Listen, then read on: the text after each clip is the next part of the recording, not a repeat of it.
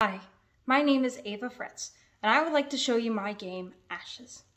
Ashes is the newest installation of a series I am making called Heart of Gold. The mainline Heart of Gold series involves Hayes Brighton as he travels between the world he knows and a mirror dimension called the Other Side. This game starts his older brother Mason on the day their house burned down, an event that impacted each world differently. The main Heart of Gold series is planned to be an RPG geared towards a preteen to young adult audience. Ashes, however, is a spin-off with a different genre and overall feel. It is a puzzle game geared towards anyone aged 10 to 25. This is an escape room with two canon endings, one for each world. Certain actions will determine which ending you get and will even affect the locations you see as you play.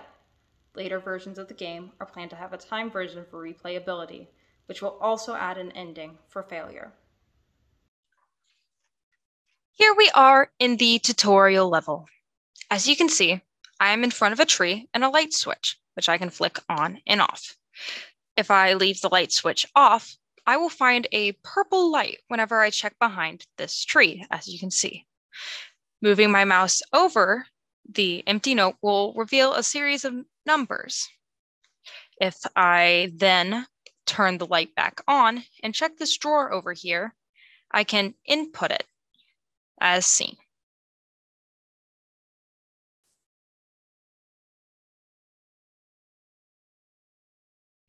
And I can check my results by clicking this button. As the answer was correct, the button turns green, which means I can open it to get my reward, a green necklace gem. If we look over here at this door, we will notice that it's needing a necklace. I have a necklace gem and a necklace chain, but I cannot combine items through my inventory. So I'm going to need to find a different way to get a necklace. If I look right over here, I will see that there is a black void indicating that a chain should belong here.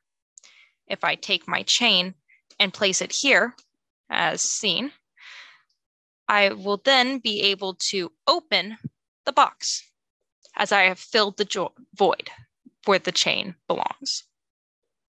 Ashes was both a school project and a passion project. So it was designed, programmed, voiced, all by me. It has been amazing to learn how to do this as puzzle games, especially escape rooms, are one of my favorite genres of all time. And learning how much effort goes into them has made it so much more amazing to know that it takes this much energy to do it. To put it simply, Ashes is set in a world I dream of making and it shows the events that changed the main character's life forever from the perspective of a character I am yet to really explore. It is a work in progress build that will have three levels and a tutorial once I am done with it. Any comments or criticisms are greatly appreciated as I am still learning how to develop games and I want this puzzle game to be the best it can be. Thank you.